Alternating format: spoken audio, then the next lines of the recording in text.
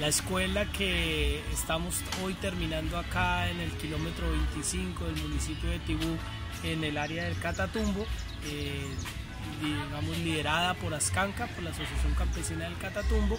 es una escuela que a nivel nacional se denomina Escuela Erley Monroy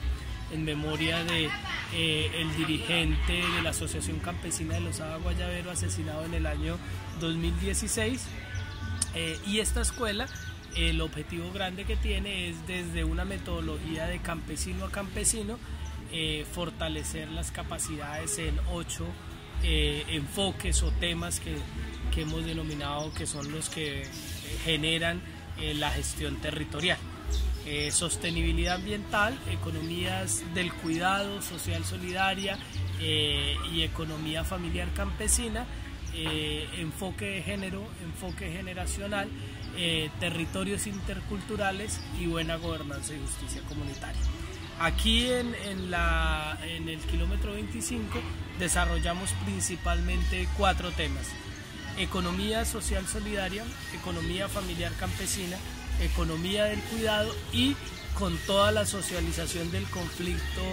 eh, Barí, eh, zona de reserva campesina y con la sentencia también pudimos ver eh, en la práctica desde la experiencia de Ascanca cómo se desarrolla el enfoque de territorios interculturales y cómo las zonas de reserva construyen iniciativas para vivir y generar mecanismos de convivencia con las comunidades indígenas y con las comunidades afrodescendientes. Para nosotros como campesinos, la formación o la, de la reserva asociación, la zona de reserva campesina, se significa que para nosotros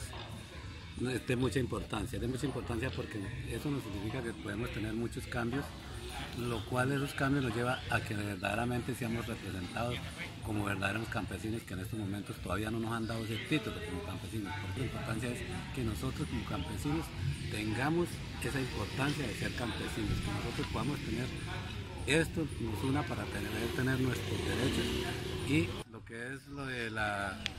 uh, unidad solidaria, que es uno importante de que, vamos, que tenemos que mirar primero que todo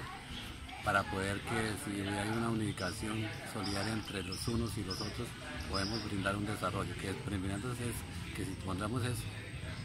montar nuestra propia, como dijo la, nuestra propia empresa, que nosotros podamos tener nuestra propia cooperativa, podamos tener un desarrollo, que podamos sacar, montar nuestra propia comercialización de nuestros productos, es una de las cosas muy importantes.